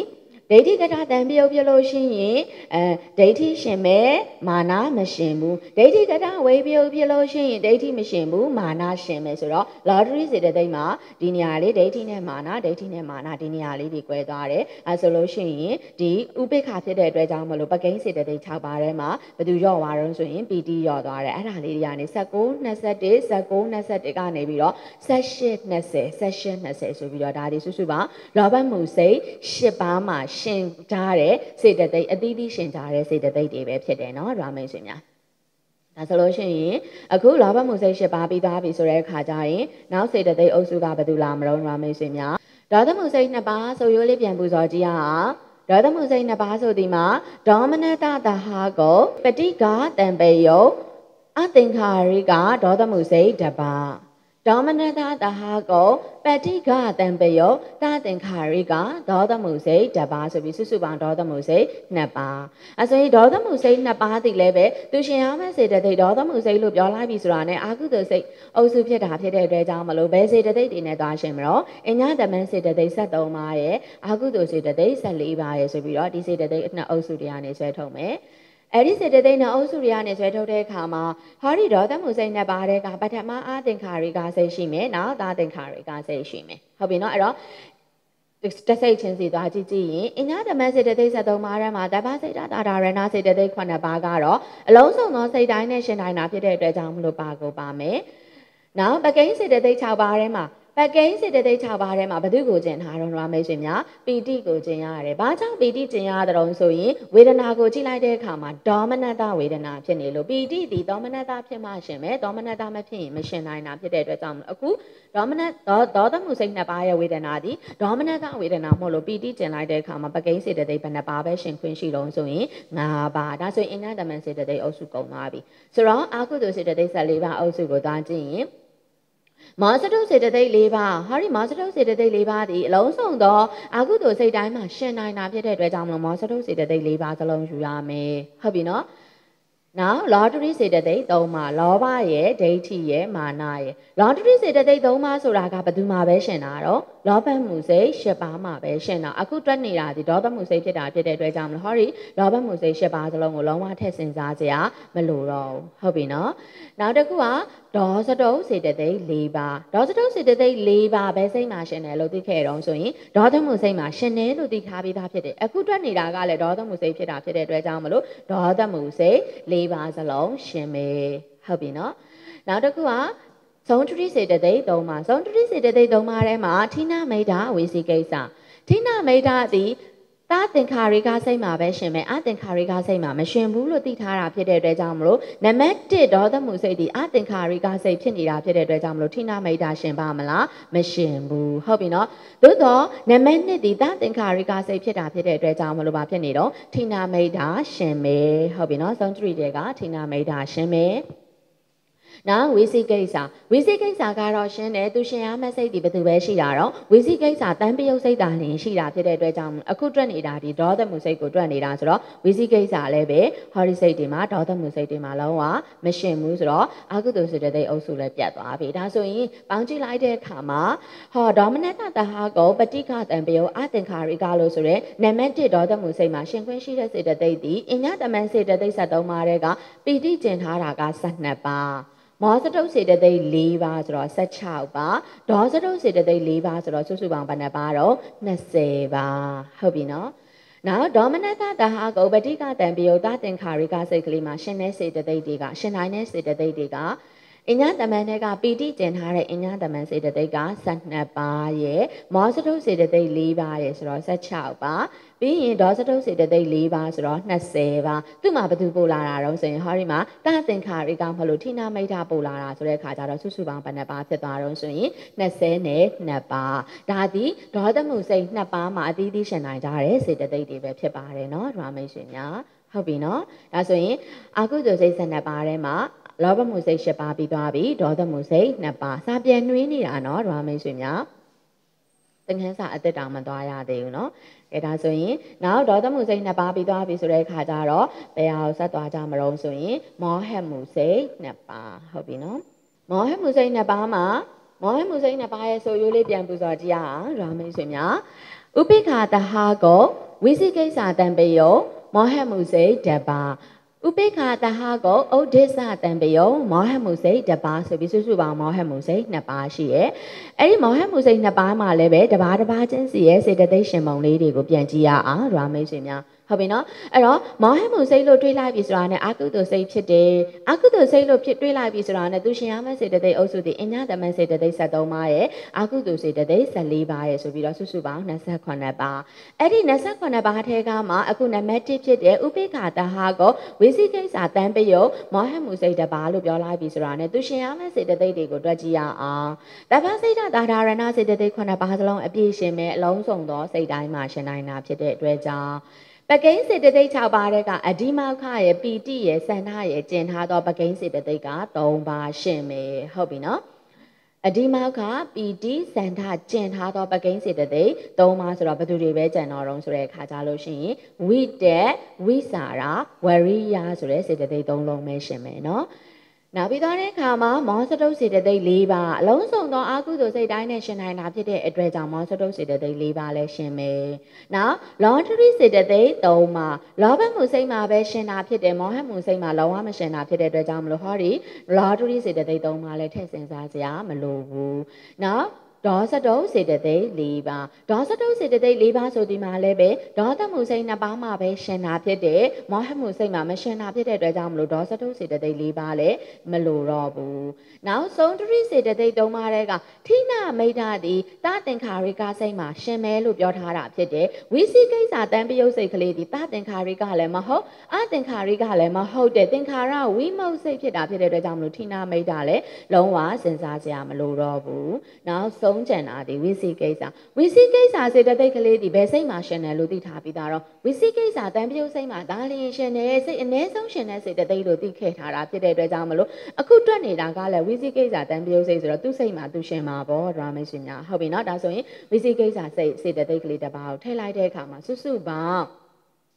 ဝိသိကိစ္စတန်ပြုတ်စိတ်မှာရှင်နိုင်သမျှစေတသိက်တွေကြည်လိုက်ရင်တဘာစိတ်တာဒါရဏစေတသိက်9ပါးပကိန်းစေတသိက်ထဲက3ပါးဆိုတော့10ပါးမောစတုစေတသိက်က4ပါးဆိုတော့14ပါးဝိသိကိစ္စစေတသိက်က1ပါးဆိုတော့စုစုပေါင်းဘယ်နှပါးနဲ့ရှင်တော့ဆိုရင်15ပါးဟုတ်ပြီနော်ဒီတိရမယ်နော်ဒရာမိတ်ဆွေများနောက်ဩဒိစ္စစေတသိက်ကိုသွားရအောင်ဩဒိစ္စလို့ပြောလိုက်ပြီဆိုတာ ਨੇ ဟုတ်ပြီနော်အညတမန်စေတသိက်ထဲကတဖစိတ်တာဒါရဏစေတသိက်9ပါးအပြည့်ရှင်တယ်အလုံးစုံသောစိတ်တိုင်းနဲ့ရှင်တိုင်းလို့နောက်ပကိန်းစေတသိက်6ပါးတဲ့ကဘသူတွေကျင်ထားတော့ဆိုရင်ပီတိရဲ့စန္ဒရဲ့ကျင်ထားတဲ့ပကိန်းစေတသိက်ကဘယ်နှပါးရှင်တော့ဆိုရင်၄ပါးဟုတ်ပြီနော်၄ပါးအဲဆိုရင်ဘသူတွေကျန်တော့ဆိုတော့ဝိတက်ဝိစာရာအဒီမောခဝရိယဆိုတဲ့အဲ့ဒီစေတသိက်၄လုံးဒီဥဒိစ္စမှာရှင်ပါတယ် ပီတိသည်တောမနတာမဟုတ်လို့ရှင်တယ်စန္ဒကတော့မောဟမှုစိတ်နှစ်ပါးစလုံးမှာမရှင်တာဟုတ်ပြီနော်ဒါဆိုရင်အဲဆိုရင်အခုပီတိစန္ဒကျင်ထားတဲ့အဲပကိန်းစေတသိက်က၄ပါးနောက်ပြီးသားတဲ့အခါမှာအာကုတုစေတသိက်အုပ်စုတွေကမောစတုစေတသိက်၄ပါးမောစတုစေတသိက်၄ပါးကအလုံးစုံသောအာကုတုစိတ်တိုင်းမှာရှင်တာဖြစ်တဲ့အတွက်ကြောင့်မလို့သူဒီရှင်ကိုရှင်မယ်နော် လောထရီစေတသိက်၃ပါးလောထရီစေတသိက်၃ပါးဆိုဒီမှာလည်းပဲလောဘမှုစိတ်မှာဒါလေးရှင်းတယ်အခုမောဟမှုစိတ်မှာလုံးဝမရှင်းဘူးနောက်ဒေါစတုတ်စေတသိက်၄ပါးဒီလည်းပဲဒေါစတုတ်ဒေါစတုတ်ဒီဒေါသမှုစိတ်မှာဒါလေးရှင်းတယ်ဥစိတ်မှာမရှင်းဘူးဟုတ်ပြီနော်နော် ထိနာမိတ်တာထိနာမိတ်တာစေတသိက်နှစ်ပါးကလည်းသသင်္ခါရိကစိတ်မှာပဲရှင်တာလीအခုဥဒိစ္စသည်တလည်းမဟုတ်အလည်းမဟုတ်တဲ့သင်္ခါရဝိမုံမလို့မရှင်ဘူးဟုတ်ပြီနော်နောက်ဝိသိကိစ္စ ဝိသိကိစ္စဒီလဲပဲဝိသိကိစ္စတဟာကုတ်စိတ်တန်ပြုတ်စိတ်မှာတာလင်းရှိနေဝိသိကိစ္စတန်ပြုတ်စိတ်မဟုတ်ရင်မရှင်ဘူးဆိုတော့အခုတက်နေတာဒီဥဒိစ္စမလို့ဝိသိကိစ္စကလည်းမရှင်ဘူးဆိုတဲ့ခါကျတော့မောဟတ်မှုဥဒိစ္စတန်ပြုတ်စိတ်မှာရှင်ခွင်းရှိတဲ့စေတသိက်တွေကိုပြန်ပေါင်းကြည့်ရင်တပ္ပစိတ်တာဒါရဏစေတသိက်9ပါးပကိန်းစေတသိက်က4ပါးစုစုပေါင်းလိုက်တော့17ပါးဟာမောစတုစေတသိက်က4ပါးဆိုတော့စုစုပေါင်းလိုက်တော့စေတသိက်15ပါးနဲ့ပါလောက်ကြတော့ဆိုရင်ရှင်ကြရတယ်ဒါသည်အာကုသိုလ်စိတ်တို့မှာရှင်ကြတဲ့စေတသိက်တွေပဲဖြစ်တယ်ဆိုတော့အာကုသိုလ်စိတ်ကိုသုံးအုပ်စုခွဲထားတယ်။ဘာတွေတုံးဆိုတဲ့အခါကျရင်လောဘမှုစိတ်၈ပါးရဲ့ဒေါသမှုစိတ်၂ပါးရဲ့မောဟမှုစိတ်၂ပါးရဲ့အဲ့ဒီစိတ်တစ်ခုချင်းစီရဲ့တစ်မျိုးတစ်အုပ်စုချင်းစီမှာရှင်နိုင်ကြတဲ့ရှင်ခွင့်ရှိကြတဲ့စေတသိက်တွေကိုတွတ်ထုတ်သွားတာဖြစ်တယ်နော်ဒရမေဆွေများအဲ့ဒါဒီဒရမေဆွေများမှတ်စုစာရဲ့စာမျက်နှာ84မှာရှိပါတယ်အာကုသိုလ်စိတ်12ပါးနဲ့စေတသိက်ရှင်ဘုံဆိုတဲ့ဇာတ်လေးရဲ့အောက်မှာအားလုံးပြောထားပြီးသားဖြစ်တယ်နော်အာကုသိုလ်စိတ်12ပါးနဲ့ဟိုဘက်ကစေတသိက်တွေအသီးသီးရှင်ကြတာတွေအားလုံးကိုတွတ်ထုတ်ထားပြီးသားပါနော်ဒရမေဆွေများဒါဆိုရင်အခုတင်ငန်းစာအစ်စ်ကလေးနည်းနည်းသွားကြပါမယ်နော်ဒါဆိုရင် မဆုစာအုပ်ရဲ့စာမျက်နှာ84ဟုတ်ပြီနော်မဆုစာအုပ်ရဲ့စာမျက်နှာ84မှာအောက်ဆုံးနားလေးမှာနော်ခေါင်းစဉ်အသစ်တစ်ခုဖြစ်တဲ့တပ်ပါကုသလယောဂီစေတသိက်14ပါဆိုတဲ့ခေါင်းစဉ်လေးကိုသွားကြမယ်ဒရာမိတ်ဆွေများဒါဆိုရင်တပ်ပါကုသလယောဂီစေတသိက် ဟုတ်ပြီနော်ဒါဆိုရင်တပ်ပါကုသလယောဂီစေတသိက်14ပါဒါဆိုရင်တပ်ပါကုသလဆိုတာဒီတပ်ပါအာကုသလယောဂီလို့ပြောတာဖြစ်တယ်တပ်ပါအလုံးစုံသောအာကုသလအာကုသိုလ်စိတ်တို့၌ယောဂီရှင်လေးရှိတဲ့ ဟုတ်ပြီနော်ဒါဆိုရင်တပ်ဘာအာကုတလအလေးကိုဖြုတ်ချင်တော့လာပြီးတော့ဘားလက်ချိုက်လေးမှာမောက်ချလေးထည့်လိုက်တဲ့အခါမှာပါဠိပြက်အနေနဲ့တပ်ဘာဒါကြောင့်မလို့ဆိုတဲ့အခါမှာတပ်ဘာအာကုတလလို့ဆိုလို့မရဘူးတပ်ဘာရေးချတဲ့ပါကိုပါရမယ်တပ်ဘာကုတလယောဂီစေတသိက်လို့ဒီလိုမျိုးဆိုရမယ်ဒါဆိုရင်သူ့ရဲ့မြန်မာလိုအ내အဓိပ္ပာယ်ဒီအလုံးစုံသောအာကုသိုလ်စိတ်တိုင်းနှင့်ရှင်နိုင်သောစေတသိက်ကိုဘာလို့ခေါ်တော့ဆိုရင်တပ်ဘာကုတလယောဂီစေတသိက် အလုံးစုံသောအာကုသိုလ်စိတ်ဖြစ်တိုင်းဖြစ်တိုင်းမှာအမြဲတမ်းပါဝင်နိုင်တဲ့စေတသိက်တွေအာကုသိုလ်စိတ်လို့ပြောလိုက်ပြီဆိုတာနဲ့ချွင်းချံရည်ချင်းလုံးဝမရှိဘဲနဲ့ပါကိုပါတဲ့အမြဲတမ်းပါနေတဲ့ရှင်နိုင်တဲ့စေတသိက်တွေကိုဘာလို့ခေါ်တာတော့ဆိုတဲ့အခါကျရင်တတ်ပါကုသလယောဂီစေတသိက်လို့ခေါ်တာဖြစ်တယ်ဒါဆိုရင်အာကုသိုလ်စိတ်12ပါးဖြစ်တိုင်းနဲ့ပါဝင်နိုင်ရှင်နိုင်ဆက်ဆံနိုင်သောစေတသိက်တို့ကိုဘာလို့ခေါ်တော့ဆိုရင်တတ်ပါကုသလယောဂီစေတသိက်လို့ခေါ်ပါတယ်တဲ့ဟုတ်ပြီနော်အဲ့ဒါလေးကြက်ထားရမယ်ဒရာမိတ်ဆွေများအာကုသိုလ်စိတ်12ပါးဖြစ်တိုင်းပါဝင်နိုင်ရှင်နိုင်ဆက်ဆံနိုင်သောစေတသိက်တို့ကိုဘာလို့ခေါ်တော့တတ်ပါကုသလယောဂီစေတသိက်ဟုတ်ပြီနော်နောက်တစ်ခါပြန်ပူဇော်ကြည့်ရအောင်အာကုသိုလ်စိတ်12ပါးဖြစ်တိုင်းပါဝင်နိုင်ရှင်နိုင်ဆက်ဆံနိုင်သောစေတသိက်တို့သည်တဗ္ဗကုသလယောဂီစေတသိက်မြည်ဤဆိုတာပြောရမယ်ဟုတ်ပြီနော်အဲ့တော့အတူရဲ့နဲ့အတိတ်ပဲဖွင့်ဆိုချက်သည် အကုသိုလ်စိတ်ဖြစ်တိုင်းဖြစ်တိုင်းမှာပါဝင်နိုင်တဲ့စေတသိက်အကုသိုလ်စိတ်ဖြစ်တိုင်းဖြစ်တိုင်းမှာဟုတ်ပြီနော်ရှင်ကိုရှင်နိုင်တဲ့စေတသိက်ဒီဘာလို့ခေါ်တော့တဗ္ဗကုသလ တပ်ဘာကုတလယောဂီစေတသိက်ဒါဆိုရင်အဲ့ဒီတပ်ဘာကုတလယောဂီစေတသိက်တွေကဘယ်သူတွေဖြစ်မတော့ရာမေရှင်များကာကြီးအုပ်စုကိုကြည့်လိုက်တော့တပ်ဘာစိတ်တာတာဒါရဏစေတသိက်9ပါးတဲ့ဟုတ်ပြီနော်နောက်ပြီးတော့ဝိတက်ဝိစာရဝရိယဆိုတဲ့ပကိန်းစေတသိက်3ပါးနောက်ပြီးတော့တပ်ဘာကုတလတာဒါရဏစေတသိက်ဘယ်နှပါတော့4ပါးဘသူကတပ်ဘာကုတလတာဒါရဏဒီဘသူကိုပြောတာတော့ဆိုရင်မောစတုစေတသိက်4ပါးကိုပြောတာနော်ရာမေရှင်များအလုံးစုံသောအကုသိုလ်စိတ်တိုင်းနဲ့ရှင်နိုင်တဲ့မောစတုစေတသိက်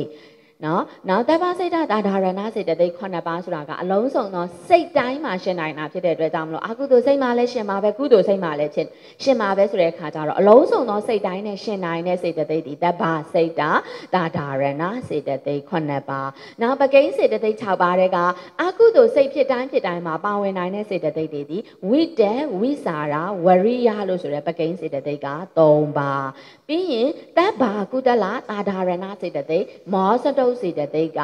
၄ပါအလုံးစုံသောအာကုသိုလ်စိတ်တိုင်းမှာရှင်နိုင်တာဖြစ်တဲ့အတွက်ကြောင့်ဟုတ်ပြီနော်ဒါဆိုရင်အလုံးပေါင်းချလိုက်ရင်တပ္ပစိတ်တာဒါဒါရဏစေတသိက်9ပါးရဲ့ဝိတက်ဝိစာရဝရိယလို့ဆိုတဲ့ပကိန်းစေတသိက်3ပါးရဲ့နောက်တပ္ပကုတလတာဒါရဏစေတသိက်၄ပါးရဲ့စုစုပေါင်းလိုက်တော့တပ္ပကုတလယောဂီစေတသိက်14ပါးအလုံးစုံသောအာကုသိုလ်စိတ်တိုင်းနှင့်ရှင်နိုင်သောစေတသိက်အာကုသိုလ်စိတ်12ပါးဖြစ်တိုင်းဖြစ်တိုင်းပါဝင်နိုင်ရှင်နိုင်ဆက်ဆံနိုင်သောစေတသိက်စုစုပေါင်းဘယ်နှပါတုံးဆိုရင်14ပါဆိုတော့အဲ့ဒါလေးကကြက်ထားရပါမယ်เนาะရာမိတ်ဆွေများဘာကြောင့်လုံးဆိုတဲ့အခါကြလို့ရှိရင်မေးပါတယ်သမီးဝဲမေခွန်းအနေနဲ့မေးတာရှိပါတယ်เนาะရာမေးရှင်များဒါဆိုရင်အဲ့ဒါလေးကိုတွက်ထုတ်ထားတာလေးကိုတစ်ချက်ကြည့်ကြည့်လိုက်ရအောင်ဘယ်လိုရလာတယ်လဲပေါ့ဒီ14ပါးဘယ်လိုရလာတယ်လဲဆိုရင်ဟုတ်ပြီเนาะဒါဆိုရင် အာကုသိုလ်စိတ်ဖြစ်တိုင်းမှာပါဝင်နိုင်တဲ့စေတသိက်အာကုသိုလ်စိတ်လို့ပြောလိုက်ပြီဆိုတာနဲ့ဓမ္မိတ်ဆွေများအာကုသိုလ်စိတ်လို့ပြောလိုက်ပြီဆိုတာနဲ့ဓမ္မိတ်ဆွေများအားလုံးတွက်ထုတ်ရမယ့်စေတသိက်ဒီစေတသိက်အုပ်စုဒီနှစ်အုပ်စုရှိရဲအဲ့ဒီစေတသိက်အုပ်စုနှစ်အုပ်စုကဘာတွေတုံးဆိုတဲ့အခါကျရင်အညာတမန်စေတသိက်73ပါးရဲ့အာကုသိုလ်စေတသိက်14ပါးရဲ့ဟုတ်ပြီနော်အဲ့တော့အညာတမန်စေတသိက်73ပါးရဲ့အာကုသိုလ်စေတသိက်14ပါးရဲ့စုစုပေါင်းစေတသိက်ဘယ်နှပါးတွေကနေတွက်ထုတ်ရမှာတုံးဆိုရင် 29ပါအဲဆိုရင်အာကုသိုလ်စိတ်12ပါအညာသမန်စေတသိက်73ပါအာကုသိုလ်စေတသိက်14ပါအဲ့ဒီထဲထဲကနေတွက်ထုတ်လိုက်တဲ့အခါမှာအာအညာသမန်စေတသိက်73ပါတဲ့ကကကြီးအုပ်စုတပ္ပစိတ်တာဒါရဏစေတသိက်9ပါရဲ့ခကွေအုပ်စုကပကိန်းစေတသိက်6ပါရဲ့အဲ့ဒီမှာတပ္ပစိတ်တာဒါရဏစေတသိက်9ပါဒီလုံးစုံသောစိတ်တိုင်းမှာရှင်နိုင်တာဖြစ်တဲ့အတွက်ကြောင့်မလို့အာကုသိုလ်စိတ်ပဲဖြစ်ဖြစ်ကုသိုလ်စိတ်ပဲဖြစ်ဖြစ်ဒီစိတ်ဒီစေတသိက်9ပါဒီပါကိုပါမှာဖြစ်တဲ့အတွက်ကြောင့်မလို့ရာမိတ်ဆွေများယူရမယ်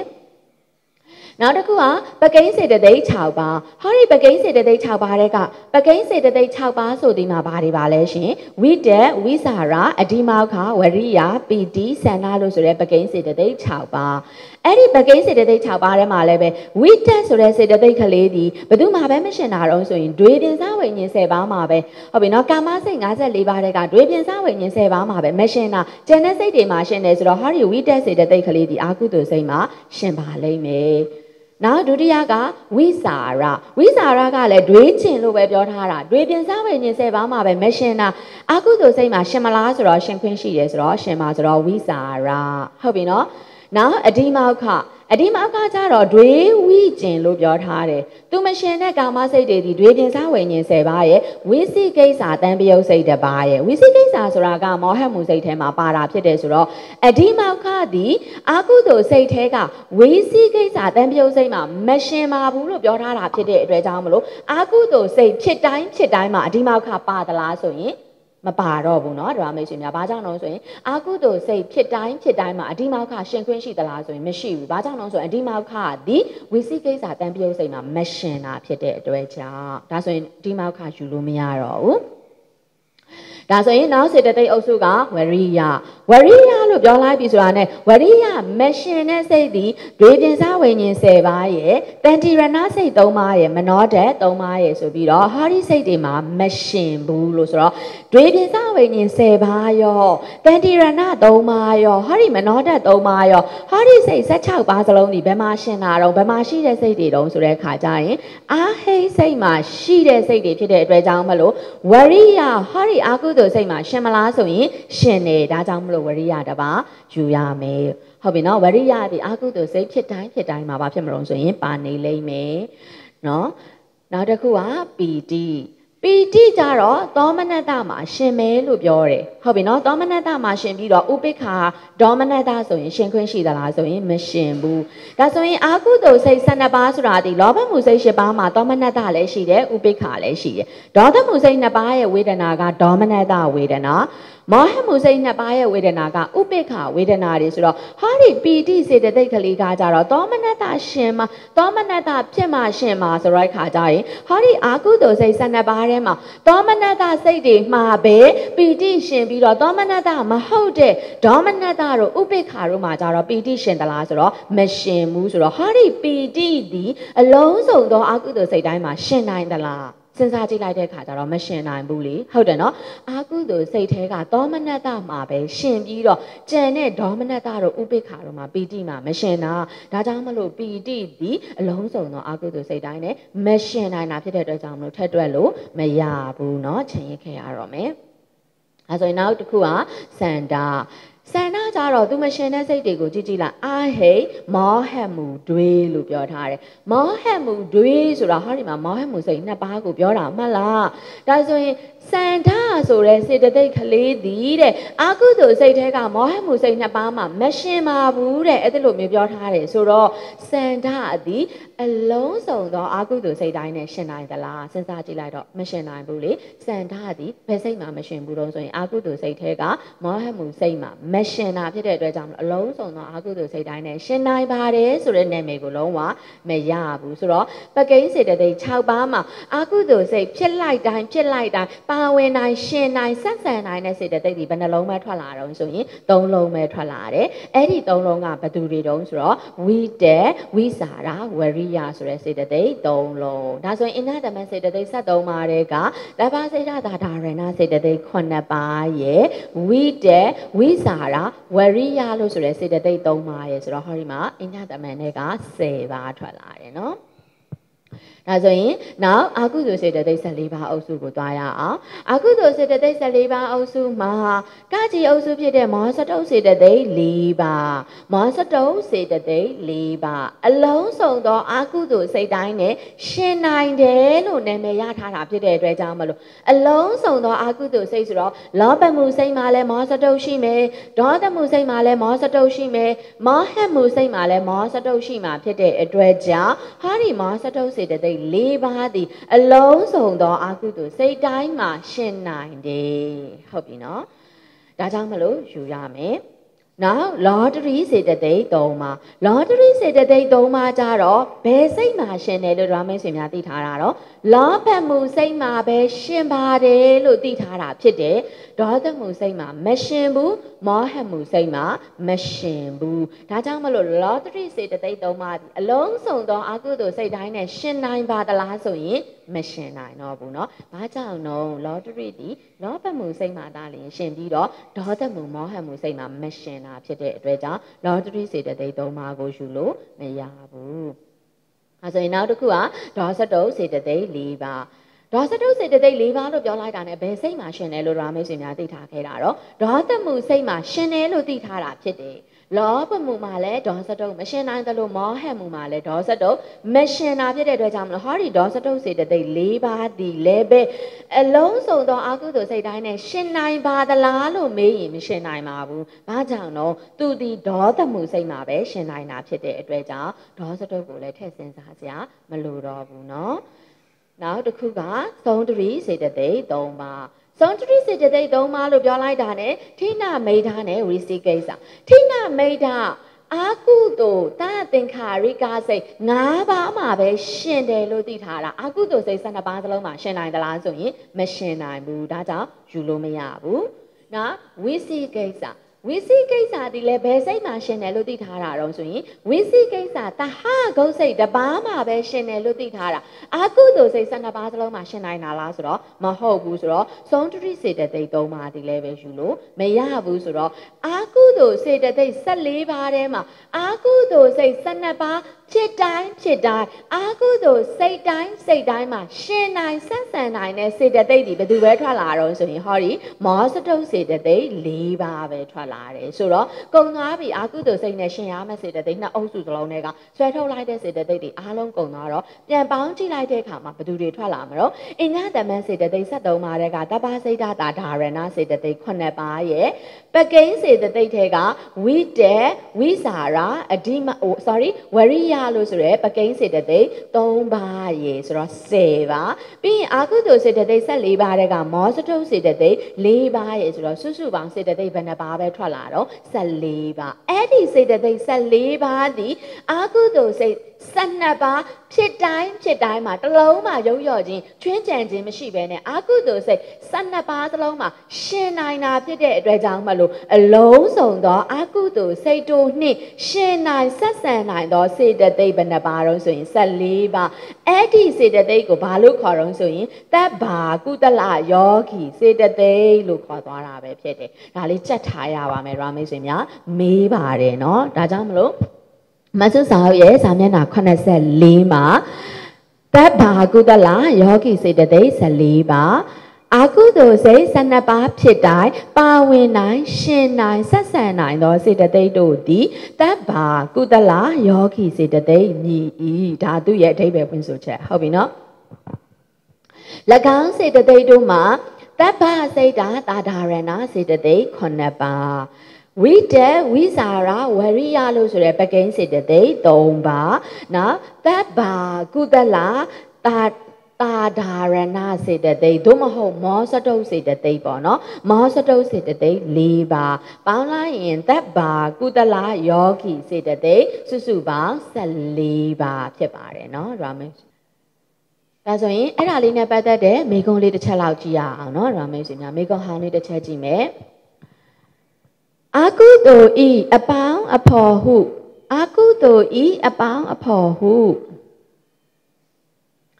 ဆိုနိုင်တော့တဲ့အာကုသိုလ်စိတ်ဖြစ်တိုင်းပါဝင်နိုင် ဒီစေတသိက်များကိုဖော်ပြ၍တဲ့စိတ်အ ਨੇ ဆုံးနှင့်ရှင်နိုင်သောစေတသိက်ကိုလည်းဖော်ပြပါလို့ပြောထားတယ်ဟုတ်ပြီနော်အာကုသိုလ်ဤအပေါင်းအဖော်လို့ပြောထားတယ်ဟုတ်ပြီနော်အာကုသိုလ်စိတ်ဖြစ်တိုင်းပါဝင်နိုင်သည့်စေတသိက်များအာကုသိုလ်စိတ်ဖြစ်တိုင်းပါဝင်နိုင်တဲ့စေတသိက်ဆိုတော့ဘယ်သူတွေဖြစ်မှာတော့ဆိုရင် တဗ္ဗကုသလယောဂီစေတသိက်ဘယ်နှပါးကိုပြောတာတော့ဆိုရင်14ပါးကိုပြောတာဖြစ်တယ်။ဒါကြောင့်မလို့ရမိတ်ဆွေများဆောင်းမေးပွဲမေကွန်းပုံစံနဲ့ပြန်ဖြေတဲ့အခါမှာအမြဲတမ်းမေကွန်းပြန်ကောက်ပါမယ်။အာကုသိုလ်ဤအပေါင်းအဖော်ဟုဆိုနိုင်သောအာကုသိုလ်စိတ်ဖြစ်တိုင်းပါဝင်နိုင်သည့်စေတသိက်များမှာဆိုပြီးတော့တဗ္ဗာကုသလယောဂီစေတသိက်ဘယ်နှပါးကိုရေးပြရမှာတော့ဆိုရင်14ပါးကိုရေးပြရမှာဖြစ်ပါတယ်နော်ဒရာမေးဆွေများ။ အဲ့ဒါဒီမေးတတ်တဲ့ပုံစံပဲဖြစ်ပါတယ်ဒါဆိုရင်နောက်မေကွန်တစ်ခုမှာသူတစ်ပါးဤစေခိုင်းခြင်းကြောင့်မလွဲတာ၍သူ့အသက်တမ်းမှုကို ပြုနေသူဤတန်တန်၌ဖြစ်နိုင်သောစိတ်စေတသိက်တို့ကိုဖော်ပြခဲ့ပါလို့ပြောရတယ်။ဒါဆိုရင်အခုဒီမှာကြည့်ကြည့်ရအောင်သူတစ်ပါးဤစေခိုင်းသူတစ်ပါးဤစေခိုင်းမှုကြောင့်လို့ပြောတယ်နော်ဒရာမေးစင်များ သူတစ်ပါးဤစေခိုင်းမှုကြောင့်မလွဲတာ၍သူ့အသက်ကိုတတ်မှုပြုနေသူဤတန်တန်၌ဖြစ်နိုင်သောစိတ်နဲ့စေတသိက်တွေကိုရှင်းပြပေးပါဆိုတော့ပထမဦးဆုံးဒရမင်းရှင်များဖော်ပြပေးရမှာဒီသူ့အသက်ကိုတတ်တဲ့စိတ်ကဘာစိတ်လဲဟုတ်ပြီနော်ဒုတိယဆက်စဉ်းစားရမှာဒီအဲ့ဒီစိတ်မှာရှင်တဲ့စေတသိက်ကဘယ်သူတွေလဲဆိုတာကိုတွက်ပေးရမှာဖြစ်တယ် ဒါဆိုရင်ဓမ္မိတ်ဆွေများအားလုံးပဲတတ်တယ်ဆိုတဲ့ခါကျတော့အာကုသိုလ်စိတ်နဲ့တတ်တယ်ပေါ့ဒါဆိုရင်အာကုသိုလ်စိတ်လို့ပြောလိုက်ပြီဆိုတာနဲ့လောဘမှုစိတ်ရှိတယ်ဒေါသမှုစိတ်ရှိတယ်မောဟမှုစိတ်ရှိတယ်ဒါဆိုရင်တတ်ချင်းဆိုတဲ့အမှုကိုပြုတာဒီလောဘနဲ့လုံးမလားဒေါသနဲ့လုံးမလားမောဟနဲ့လုံးမလားစဉ်းစားကြည့်လိုက်တော့သူ့အသက်ကိုတတ်ချင်းဒီဘာကြောင့်ဖြစ်တာတော့ဆိုရင်ဒေါသကြောင့်တတ်တာ သူသူတစ်ပါးရဲ့အသက်ကိုသေစေလိုတယ်အပြင်းစားဒေါသအကြီးစားဒေါသဒီဒေါမနတာစိတ်ဒေါသမှုစိတ်နဲ့တာလည်းဘာဖြစ်နိုင်တာတော့ဆိုတဲ့အခါကျရင်တက်ဖြတ်ခြင်းကိုပြုလုပ်နိုင်တာဖြစ်တဲ့အတွက်ကြောင့်မလို့လောဘမှုစိတ်လည်းမဟုတ်တော့ဘူးမောဟမှုစိတ်လည်းမဟုတ်တော့ဘူးဒါဆိုရင်ဒေါသမှုစိတ်နဲ့တတ်မယ်ပေါ့အဲဆိုရင်ဒေါသမှုစိတ်လို့ပြောလိုက်ပြီဆိုတာနဲ့လေဒေါသမှုစိတ်ကဘယ်နှပါးတောင်ရှိရတော့နှစ်ပါးဟုတ်တယ်နော်ဒေါမနကတဟာကိုပတိကတံပယောအသင်္ခါရိကလို့ဆိုတဲ့ဒေါသမှုစိတ်တစ်ပါးရဲ့တသင်္ခါရိကလို့ဆိုတဲ့ဒေါသမှုစိတ်တစ်ပါးရဲ့ဒေါသမှုစိတ်နှစ်ပါးရှိတယ်ဒါဆိုရင်အဲ့ဒီဒေါသမှုစိတ်နှစ်ပါးတည်းကဘယ်စိတ်နဲ့တတ်တယ်လဲဆိုတဲ့အခါမှာမေကုန်းမှာဗာလေးပါပြီးသားတော့ဆိုတဲ့အခါကျဟင့်သေးပါထားပြီးသား သူတစ်ပါးဤစေခိုင်းခြင်းကြောင့်မလွှဲတာ၍လို့ပြောထားတာဖြစ်တဲ့အတွက်ကြောင့်မလို့မိမိကိုယ်တိုင်တတ်ချင်လို့ထက်ထက်တန်တန်တတ်တာမျိုးလားမဟုတ်ဘူးနော်ဒရာမိတ်ဆွေများသူများကခိုင်းလို့မလို့မလွှဲတာမရှောင်တာတတ်လိုက်ရတာဖြစ်တဲ့အတွက်ကြောင့်မလို့သူတစ်ပါးစေခိုင်းမှုကြောင့်သူတစ်ပါးတိုက်တွန်းမှုကြောင့်တတ်ရတာဖြစ်တဲ့အတွက်ကြောင့်မို့လို့အသင်္ခါရိကစိတ်ဖြစ်မလားတသင်္ခါရိကစိတ်ဖြစ်မလားဆိုတော့ရာမိတ်ဆွေများဘယ်စိတ်ဖြစ်မလို့ သူတစ်ပါးကစိတ်ခိုင်းနဲ့တိုင်တွန်းမှုပါလို့လောက်ရတာဖြစ်တဲ့အတွက်ကြောင့်မလို့တသင်္ခါရိကစိတ်ဖြစ်သွားပြီเนาะတသင်္ခါရိကစိတ်ဒါဆိုရင်တသင်္ခါရိကစိတ်မှာထည့်လိုက်ပြီပေါ့ဟုတ်ပြီเนาะအဲဆိုရင်ဖြစ်တတ်တဲ့စိတ်ဒီဘာစိတ်တုံးဆိုတဲ့အခါကျရင် တာဒေါသမှုတာတင်္ခါရိကစိတ်ဆိုတာထွက်သွားပြီဆိုတော့ရာမင်းရှင်များမိကုံးကိုပြန်ဖြေတဲ့အခါမှာသူတစ်ပါးဤစိတ်ခိုင်းခြင်းကြောင့်မလွဲတာ၍သူ့အသက်တတ်မှုပြုနေသူဤတန်တန်၌ဖြစ်နိုင်သောစိတ်မှာဆိုပြီးတော့အဖြေသည်ဒေါမနတတဟာကိုပတိကတံပေယောတာသင်္ခါရိကဒေါသမှုစိတ်ဖြစ်ပါသည်ဆိုတော့စိတ်ထွက်သွားပြီ ဟုတ်ပြီနော်ဒါဆိုရင်စိတ်ရဲ့အဖြေထွက်သွားပြီဆိုတော့အဲ့ဒီစိတ်မှာရှင်တဲ့စေတသိက်တွေကိုမလုပ်ရတော့မှာတော့ဆိုရင်တွက်ထုတ်ရတော့မေဒါဆိုရင်တွက်ထုတ်တဲ့အခါမှာဓမ္မမိတ်ဆွေများကသင်္ကဟနီးအတိုင်းတွက်ထုတ်ပေါ့ဒီမှာစိတ်ကထွက်လာပြီဆိုတဲ့အခါကျတော့ဒေါမနတသဟာကိုပဋိကတံပယောတာသင်္ခါရိကစိတ်မှာဒေါသမှုစိတ်ထွက်သွားပြီဆိုတဲ့အခါကျတော့ဒီဒေါသမှုစိတ်ကလေးမှာရှင်တိုင်းတဲ့စေတသိက်တွေကိုဓမ္မမိတ်ဆွေများကမလုပ်ရတော့မှာတော့ဆိုရင်တွက်ထုတ်ရတော့မှာဆိုတော့အင်္ဂတမန်စေတသိက်73ပါးတဲ့ကဘယ်သူတွေရှင်မလို့ဓမ္မမိတ်ဆွေများ တပ္ပစိတ်တာတာရဏစေတသိက်9ပါးအပြည့်ရှင်ပဲပကိန်းစေတသိက်6ပါးတဲ့ကပီတိမရှင်ဘူးဘာကြောင့်လဲဆိုရင်ဝေဒနာကဒေါမနတဖြစ်နေလို့မှုလို့ဒါကြောင့်မလို့ပီတိကျင်တော့အညာတမန်စေတသိက်ကဘယ်နှပါတော့14ပါးဒါဆိုရင်အညာတမန်စေတသိက်အုပ်စုကုန်သွားပြီဆိုတဲ့အခါမှာအာကုသိုလ်စေတသိက်14ပါးတဲ့ကကာကြီးအုပ်စုဖြစ်တဲ့တဗ္ဗာကုသလာတာဒါရဏစေတသိက်4ပါးရှင်မလားဆိုတော့ရှင်မဲအလုံးစုံသောအာကုသိုလ်စိတ်တိုင်းနဲ့ရှင်နိုင်တာဖြစ်တဲ့အတွက်ကြောင့်မလို့တဗ္ဗာကုသလာတာဒါရဏစေတသိက်မောဟစတုစေတသိက်4ပါးရှင်ပါမယ်ဟုတ်ပြီနော်ခါခွေးအုပ်စုကိုဆက်စင်းစားတော့ lottery စေတသိက်3ပါ lottery စေတသိက်3ပါဆိုတာဒီလောဘမှုစိတ်မှာပဲရှင်တာအခုတွက်နေတာဒီဒေါသမှုစိတ်ဖြစ်တာဖြစ်တဲ့အတွက်ကြောင့်မလို့ lottery စေတသိက်3ပါစလုံးလည်းစဉ်းစားစရာမလိုတော့ဘူးဟုတ်ပြီနော်နောက်တစ်ခုကဒေါစတုစေတသိက်4ပါဒေါစတုစေတသိက်4ပါလို့ပြောလိုက်ပြီဆိုတာနဲ့ဘယ်သူတွေရှိတော့ဒေါသအိတ်တာ misery ရာကုတ်ကုတ်ဆဆိုတဲ့ဒေါစတုစေတသိက်က4ပါအဲ့ဒီဒေါစတုစေတသိက်4ပါထဲမှာဒေါသဒီဒေါသမှုစိတ်မှာရှင်နေဆိုတဲ့အခါကျတော့ဒေါသစိတ်တသိက်တပါဘာလို့ရတော့မလို့ဆိုရင်ယူကိုယူရတော့မယ်သို့တော့အိတ်တာ misery ရကုတ်ကုတ်စားကြတော့ဘာနာမည်ရတယ်လို့သိထားတာတော့ဓမ္မမိတ်ဆွေများဟုတ်ပြီနော်အာနိယတာယောဂီမိမိရှင်ရမယ့်စိတ်မှာအမြဲမရှင်ဘူးရန်ခါမှရှင်မယ်ရှင်သင့်မှရှင်မယ်လို့ပြောထားတာဖြစ်တဲ့အတွက်ကြောင့်မလို့အိတ်တာ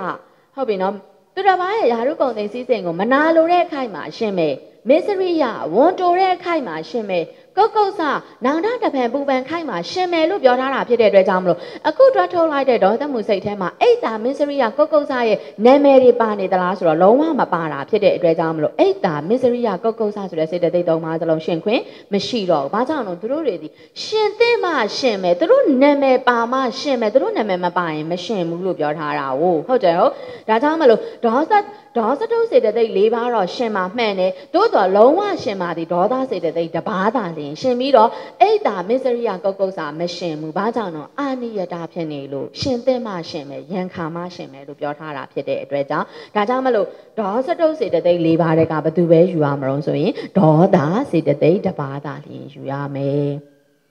ဟုတ်ပြီနော်နောက် ဆုံးအုပ်စုကဆုံးတရီစေတသိက်၃ပါးဆုံးတရီစေတသိက်၃ပါးမှာဆိုရင်လေထိနမိတ်တာဝိစီကိစ္စထိနမိတ်တာသည်ဒရမိတ်ဆွေများသိထားတာကတာသင်္ခါရိကစိတ်ဖြစ်ရင်ရှင်မယ်လို့သိထားတယ်ဟုတ်ပြီနော်သို့တော့အဲ့ဒီထိနမိတ်တာသည်တာသင်္ခါရိကစိတ်ဖြစ်တိုင်းဖြစ်တိုင်းရှင်နိုင်သလားမရှင်နိုင်ဘူးလေနော်တာသင်္ခါရိကစိတ်၅ပါးမှာအမြဲမရှင်ဘူးယံခါမှရှင်မယ်လို့သိထားတယ် ဘယ်အချိန်မှရှင်မတော့စိတ်စေတသိက်တို့ဤလေးလံထိုင်းမိုင်းတဲ့အခိုက်အတန့်မှာဒါလင်ဘာဖြစ်နိုင်တာတော့ဆိုရင်ထိနမိတ်တာရှင်ပါမယ်လို့သိထားတာဖြစ်တဲ့အတွက်ကြောင့်မလို့အခုတွတ်ထုတ်လိုက်တဲ့ဒေါသမှုစိတ်ဒီတာသင်္ခါရိကစိတ်ဖြစ်တော်လဲပဲမေကုန်းကိုပြန်ဖက်လိုက်တဲ့အခါမှာစိတ်စေတသိက်တွေလေးလံထိုင်းမိုင်းနေပါတယ်ဆိုတဲ့နာမည်ရေးထားတာမပါတာဖြစ်တဲ့အတွက်ကြောင့်မလို့စုံတရိတဲ့ကထိနမိတ်တာရှင်နိုင်သလားဆိုတော့မရှင်နိုင်ဘူးတဲ့ဓမ္မမိတ်ဆွေများဒါကြောင့်မလို့ထိနမိတ်တာတသင်္ခါရိကစိတ်ဖြစ်တိုင်းဖြစ်တိုင်းမရှင်ပါဘူးယံခါမှရှင်မယ်ရှင်သင့်မှရှင်မယ်ဒါကြောင့်လည်းတို့တွေဒီအာနိယတဆိုတဲ့နာမည်ကိုရထားတာလေအမြဲမရှင်ဘူးသူရှင်ရမယ့်စိတ်မှာအမြဲမရှင်ဘူးရှင်သင့်မှရှင်မယ်ယံခါမှရှင်မယ် ဘယ်အချိန်မှရှင်မတော့စိတ်စေတသိက်တွေလေးလံထိုင်းမိုင်းနေတဲ့အခိုက်အတန့်မှရှင်မယ်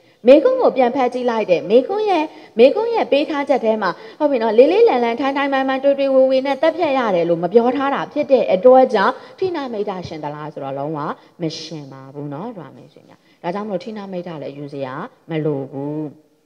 ဟုတ်ပြီနော်နောက်တစ်ခုက ဝိစီကိစ္စဝိစီကိစ္စကြပြန်တော့လဲဝိစီကိစ္စတန်ပြုတ်စိတ်မှာပါရှင်မာလို့ပြောထားတာဖြစ်တယ်အခုတွတ်ထုတ်လိုက်တာဒီဒေါသမှုစိတ်ဖြစ်တာဖြစ်တဲ့အတွက်ကြောင့်မလို့ဝိစီကိစ္စထည့်စဉ်းစားစရာလိုသလားဆိုရင်လုံးဝစဉ်းစားစရာမလိုဘူးဆိုတော့အာဟုတုစေတသိက်အုပ်စုလဲအားလုံးကုံသွားတဲ့အခါမှာ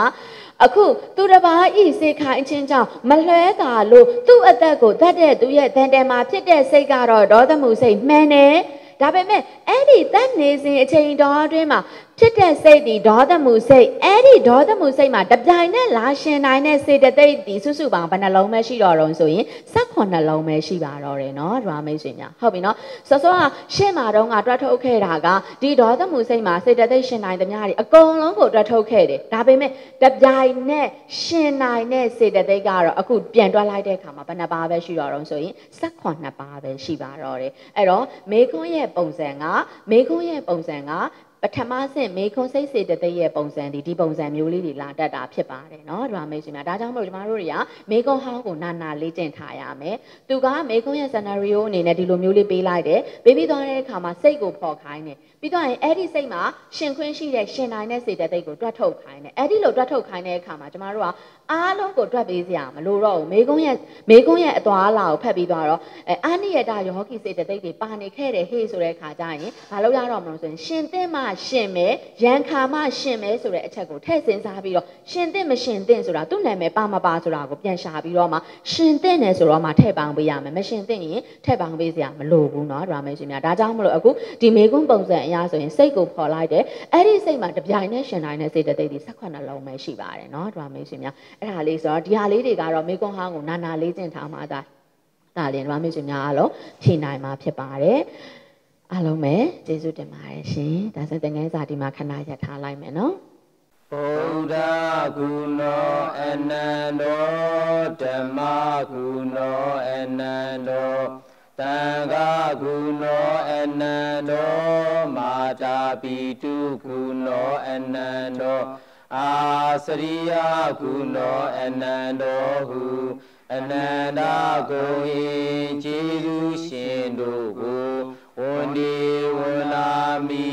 ယုတိမြတ်တို့လက်ဆုံးမူ၍ရှေခိုးကြောပါဤအရှင်ဘုရား ယနေ့ယခုအဘိဓမ္မာဒေသနာတော်ကိုနာယူတင်ကြားရသောကုသိုလ်ကောင်းမှုတို့ဤအဖို့ဘာကတို့ကို၎င်းအာလုံးကြာကြာသည်များအမြအမြအမြယူတော်မူကြပါကုန်လောသာဓုသာဓုသာဓု အာလုံးကြားကြားသမျှအမြအမြအမြယူတော်မူကြပါကုန်တော်သာဓုသာဓုသာဓုအာလုံးကြားကြားသမျှအမြအမြအမြယူတော်မူကြပါကုန်တော်သာဓု ಸಾರು